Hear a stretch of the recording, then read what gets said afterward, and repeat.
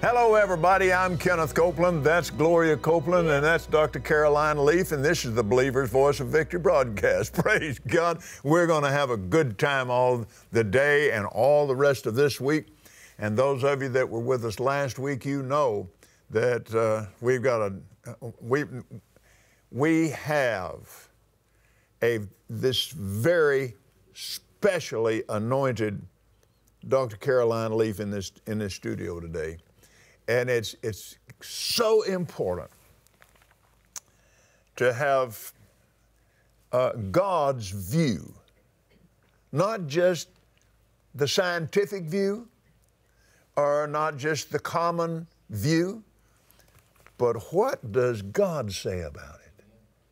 And particularly when you're dealing with the spirit or you're dealing with the mind, the soul, really uh, spirit, then soul, then body, in that order. The body being the least important. The spirit and the soul, made up of your mind, your will, and your emotions, the, the intellectual part of you. The spirit and the soul live on when the body is gone. The spirit, your soul is part of your spirit. Therein is the mind. But now, what happens to the mind if the brain is not functioning correctly? Mm-hmm. You, have a, you have a dilemma. You do. Because the mind cannot express itself. It, it, it, it's, it's locked up in a, in an, a place of, of incapacitation, then the, then the spirit and the body are severely hindered, particularly when it comes to doing any, uh, obeying God or doing anything to bless and, and to uh, uh, carry out God's assignments in the earth. So we need people like Caroline Leaf Amen. that God has called as a, a, a specialist in that part of the kingdom. Um, Gloria and I were called in the arena of faith. Now, we, we deal with and, and talk about a lot of other things, but that, that's, that's our major thrust. That's what God told us uh, over 50 years ago teach my people faith. Yeah. And so to have you here is a pleasure. Oh and it is a, it is a divine opportunity for all of us. And we want you to know we appreciate you. Oh, thank you. I'm so honored. Thank Father, you. we thank you for sending Caroline to us. We open our hearts and we open our minds to receive revelation from heaven. And we thank you for it. And we give you all the praise and the glory for it, Lord Jesus. In that great and precious name we pray, Jesus. Amen. Amen. Amen. Let's Thank open you to our what I like to call the golden text for last week and this week in 2 Timothy chapter 1 verse 7 for God hath not given us the spirit of fear. I like, and I like to read it this way. But he has given us the spirit of power the spirit of love and the spirit of a sound mind. I love that. So, to deal with a sound mind, you have to have a sound brain with which it can function. Exactly. And through which, really, is a better, yes, better phrase. Exactly. Through which the mind functions and expresses itself.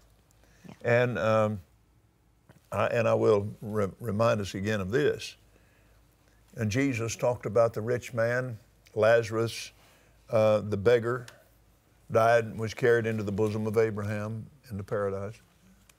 And the rich man was carried into hell. And one of the first things Abraham said to him is, Son, remember. Now, his brain was not there, but his spirit and his mind were his memory, his emotions. He got emotional about his, about his family. He, doesn't want them to come to this, this burning, hellish place. And, he, he's, he's, he, now all of a sudden he's very evangelistic.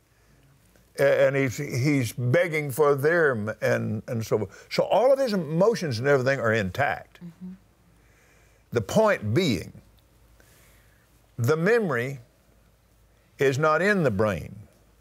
The memory uses the brain that stores memory, but life's memories are inside the spirit of a man.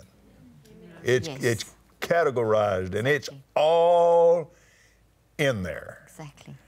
I read, I heard you say the same thing. I read after uh, Dr. Ben Carson. And he said, if anybody could ever get to the place where they used 100% of their brain, they would rule the world. Now, quote the figures. They're so astonishing at the data that's in this, this little pumpkin and the, the millions of, of just things that's in there. Okay, so you want some numbers? It's amazing. Yes, I do. Okay, let me give you the numbers. Let me speak loud so you can hear me. Yes, please. so your brain's about the size of your That's two fists. Loud. That's loud. I'll have to ask God one day. I'm a public speaker and I have the quietest voice. So anyway, it makes me work harder. So your brain is the size of your two fists. It's made up of about 100 billion neurons, which is 20% of brain tissue. So there's another 80% of different brain tissue. We only understand around about 10% of how the brain functions. Each neuron, and there's 100 billion neuron, each neuron, for example, as you are listening to me now, at speeds of 10 to the 27, which is faster than 400 billion actions per second, you are transforming my words and all the stimulation around you, visual and so on, into physical structures inside of your brain. So when I say, say you, it's your spirit and your mind are taking what you're hearing, generating that energy through the brain. The brain responds and genetic expression happens and you actually physically build at that huge speed little protein structures on top of the neurons, little branches. So as you're listening to me now, you're growing these branches you can grow anything from a few thousand to a few million branches. If you have a few million branches, for every, you grow a branch for every piece of information that you're gathering. So in a, in a talk like this of around 20 minutes, we will speak about 5,000 facts. So you'll grow about 5,000 branches holding our information. Those branches are made of proteins. Those branches, you can grow, as I said, anything up to a million plus. You're on these 100 million it gets even bigger. You can eat inside one neuron, and you've got 100 billion, more or less. Inside one, we have these very important little structures that we call microtubules that do a lot of things, including being involved in memory. So when you uh-huh. meditate, they're activated. You have about 10 million per neuron, and there's 100 billion neurons per brain, and that's only 20% of brain tissue. Then those little microtubules break up into small, so for every branch that you grow, they break up. So you have more and more of them. So one neuron has 10 million, but if you have a million branches growing on the one neuron, then that 10 million multiplies into more millions. Each of those millions and millions and millions of microtubules are made up of little tiny proteins. They're like little rolled up, like a, a sort of a, a sheet of like little beads, and they roll up. And so there's millions of those things. Each of the little beads, which are little proteins, are quantum neurobiological computers. And that's what we are using. It's almost like that's where the spirit is and the mind are working into those little computers, and they operate like these little quantum energy computers that we're building with our thoughts. And that's where our thoughts, the mind part of our thoughts, are stored, and they connect with the physical part of where our thoughts are stored. And we have trillion, trillions and kabillions and gazillions, we don't even have the number of words for those, those. One, and we have kabillions and gazillions, one is more powerful than the entire, all the computers on the entire planet. So, So now, if you ever get mean- confused, you know why. It's all, the, it's all those things in there going. Exactly, exactly.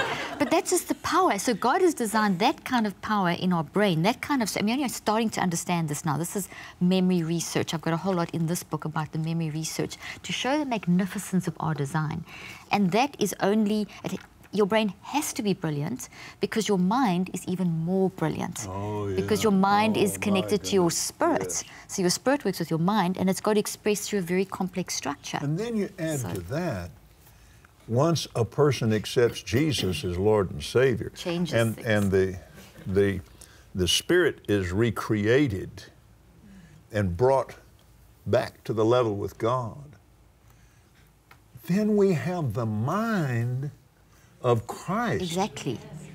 which Christ is the Greek translation of the word Messiah, and both Hebrew Messiah and, and uh, Greek Christ is the English word anointed. We have Power. the We same have so much power. anointing power Exactly. available for our minds that Jesus functioned in while he was on the earth. Now you see, that's the thing. I mean, that is so. Oh, that's mind blowing in a good sense. And and if we get a revelation of that, when we get a revelation of what it means to get in a rhythm with the Spirit, literally, we get our minds renewed and in a rhythm with the Spirit. We're accessing that kind of power, and we see science showing us the impact of that power. We don't even need science to show us. We have our gut instinct. We know, for example, if we are in a toxic mindset or we are grumpy or wake up grumpy or whatever, we know the day goes wrong. We know that if we speak um, horrible words to someone, we know that we feel horrible and that they feel, we feel the impact. So we don't need a scientist to tell us what we instinctively know to be true, that we as humanity have life and death in the power of our tongue, which is coming from you know, all those scriptures. It's there, it's, it, it's in existence. You break someone or you build someone with your words. And you know, I saw this in my practice, Gloria and Kenneth. I saw this so much. My patients would come into my practice with, I chose, let me give you a bit of background. I practiced clinically for 25 years. I'd done brain research for 30. I still do brain research. I still do clinical trials. I work with teams of doctors, neurosurgeons, neurologists, neuroscientists. We're starting a huge clinical trial in January um, where we're looking at non pharmacological interventions for people with anxiety and depression. In other words, no medicine, mind. Get your mind right, get your life right kind of situation. So I took this approach in my practice and I've translated all of this into my materials and whatever. But essentially, I would work with the worst of the worst. Everyone, there was always this population that people didn't want to work with in, in, in the world of therapy, the, the adolescents and the really difficult people. So I chose in my practice from the beginning, from day one, to take those with the worst brain damage, the worst emotional problems, and get into the worst parts of South Africa to actually work in the trenches with people that have been abused, raped, etc., etc. So I've had extensive experience working with broken humanity for honestly close to 30 years, hands on broken humanity, rejected humanity. And one of the first things that I would see in, in and it came from experience, etc., was that people had this impression of themselves that they didn't measure up, that they weren't good enough, mm-hmm. and that they had no, and that took away the sense of purpose and hope.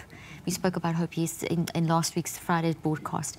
And when someone lo- loses sense of purpose and hope, which is totally tied into identity, and they don't feel that they measure up, they then have there's this meaninglessness. There's this, and it leads to tremendous inner conflict and tremendous confusion. And then people start becoming the failures that people tell them that they are.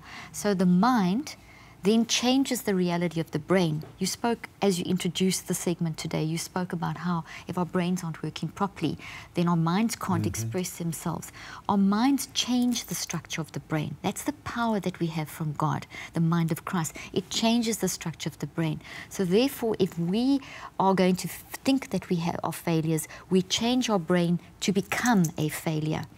So our mind is changing the structure of the brain. The brain simply does what the mind tells it to do. Well, and that know, is I why just- we have I- I to saw renew our mind. It's something I've, I've known a long time, but I just more clearly saw the process. If you, it, you have to think something before you say it. Exactly. Very good. Now, you keep saying something. You keep saying the same thing again and again until it registers in your spirit. That's you. You are a spirit. You have a mind. But if it registers in your spirit, then it will begin to control your life. And I just saw how it controls it. The spirit then takes the mind and commands it to produce it. Exactly. The and fruit. it will produce it. It will produce. grow it. Exactly. You've got it. That's You- exactly you, what's get happening. this. You, you you get the concept of this when Jesus said, "The sower sows the word." These Mm-hmm. are they by the wayside where the word is sown. So, uh, and he compared it to um, sowing plants. He compared it, and so well, he compared it to the earth. He did. He com- what, what is the kingdom of God compared to? He said, It is compared to a man who puts a seed into the ground. He goes to bed night and day, rises up. The seed grows, he doesn't know how. But the, when the seed produces harvest, he puts in the sickle and harvests it. So, the earth, the ground, God created the ground to grow. That's what it does. And, and it, it has it in itself to grow. Exactly. You put something in the ground, it tries to grow it. That's the reason if, if you put a wooden fence post in the ground and you don't do something to treat that wood, the ground will do its best to try to grow that. And so it does what it does. It breaks down the husk of the seed to allow it to grow, so it'll rot the bottom of that post. I mean, the ground will grow anything that you stick in there. It'll try its best to grow it. That's what it mm-hmm. does. Mm-hmm. Now, he compared their spirit to that. That's learning. And I just, it just flashed through me. Yeah. I, you, you, you just keep saying that, you just keep saying that, you just keep saying that, and it finally registers on your spirit, and your spirit says, All right, we have to grow that. We have to bring that to pass. That has to happen yeah. because that's our assignment. And so it immediately, immediately transacts with the mind to bring this thing to pass.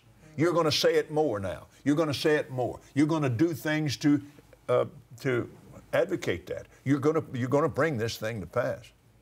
And it may be a cancer, Exactly. and it may be wealth, it, it may be healing. Depends on where you get your information. You create your next reality. If you renew your mind to this, you bring this to pass. Exactly. Whoa. I'm going to preach on that. You know, if I may, um, if there's time, or in the next episode, eh, next broadcast, I wanted to bring up a slide of my theory, the research, which is exactly what you've just described, but it's all scientific language, only to show people, not to go through all the science, but to show people that there is a blend between science and spirituality. And that science, I, I spent my 30 years trying to understand this principle of when you think and feel and choose, you grow you grow. You are putting that whole analogy you've just, there's a practical side to that. So whatever you think about the most is growing. Yes. Whatever you're focusing on. And in quantum physics, they actually have a term called quantum, the quantum zeno effect, the QZE. And that's the repeated effort that makes learning take place. So memory is also part of what I've researched and the quantum zeno effect. What does it mean to have a repeated effort? What does it mean learning's taking place? What does it mean you plant the seed and it grows? So the whole science behind that, if you look at an image of my theory now, they can just bring it up and show. But essentially I show that the, the whole spirit mind body connection and the response in the brain and if you as you're using your mind you are actually creating this physical change you literally like that fence post is growing the ground will grow it you literally are growing with every thought that you think so whether you like it or not you are creating matter out of mind. You don't treat that wooden pole, you're growing something. So you are always growing. When you think you have grown a thought that has life forever, every thought that you grow has life forever.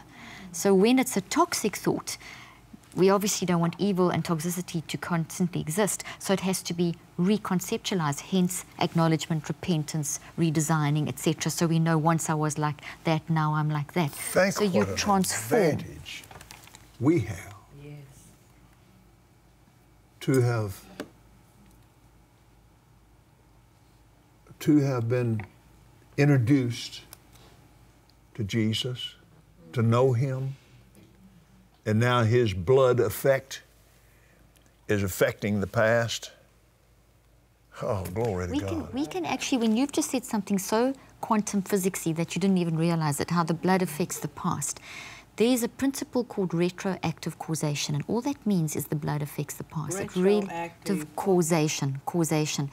And it's like retro prayer. It's literally seeing that in eternity, the present, the past, and the future coexist. And that as you're praying, as you step and you're really praying, connecting with the Spirit of God, you're stepping into eternity. So you're actually transforming how the future plays out in the present and how the past is going to play out into the future that's quite a lot to get your head around, but that's what eternity is actually doing. That's what prayer, genuine prayer is doing. It's not begging God for something that already exists. It is accessing the ingredients of what does exist in potential form and transforming them into reality by the words that you speak, which is based on the thoughts that you are thinking, which is based on the power of the mind of Christ. All right, you apply 1 John 1 9 to that, that he is faithful and just, righteous, to forgive us our sins And to cleanse. when we confess them. Exactly. So we're, tr- we're, we're trusting him with the sins of the past Exactly. and to cleanse us from all unrighteousness. And I learned years ago, years ago, long, long time ago, that I cannot afford my feelings. I can't afford to be led by Toxic them. feelings. Toxic, Yeah, yeah. I, I can't be afford to be led by that. I have to be led by this, Mm-hmm. which eventually changes my feelings. The toxic, yeah. Yeah, it, it- but it, it, it, the moment I believe I receive that forgiveness, because He's faithful and just, not because I feel better about it, but because He's faithful and just, what does that do? Changes my thoughts. I begin to change my words, and as I change my words, faith is released. Whoa, hallelujah. And the, the, the, the toxic part of that is just neutralized and Totally. And, and that happens scientifically. When you're doing what you've just described, you've taken this toxic thought. Now, we've got all these trillions of thoughts that we've been building memories from conception. Um, so we've got all these thoughts that are in our unconscious, and there's so many, we can't think of them all at any one time. So they get stimulated by the, the events of life. So every, like now I'm talking, you've got all kinds of thoughts coming up in your heads, which is your existing memories. And you use that to understand what I'm saying or to process what I'm saying from your unique perception. So as soon as something moves from the unconscious to the conscious and you become aware of it, it becomes malleable, which means changeable. So as you now get a revelation of the Spirit or whatever word you use, which is Christian language, what's happening scientifically is that, now let me take a good one. Here comes the scripture that you've so said a million times. Now Hallelujah. You've added a new branch on because it's a new level of meaning. And You've I had have more this deeper insight. overwhelming thought of we're out of time. Oh gosh. Out of time. Can we not go beyond We're just time? starting to grow. Exactly. That's not fair. Praise God. We'll grow again tomorrow. Praise the Lord.